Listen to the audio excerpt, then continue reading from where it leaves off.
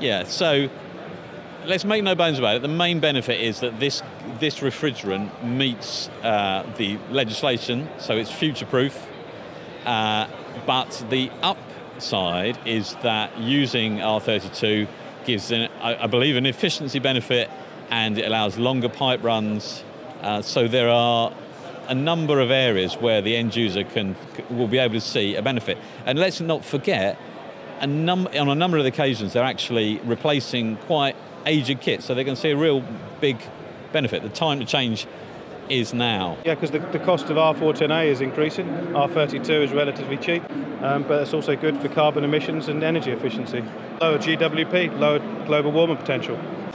Well, um, from our, our, point of view, um, the, the, the, main benefits are for, for, the, for the end user. If the product's going to be around for a long time, then the, the end user is going to feel the benefits in, in terms of re- greater energy efficiency and therefore reduced costs for, for, for tenants, for, for shops, etc.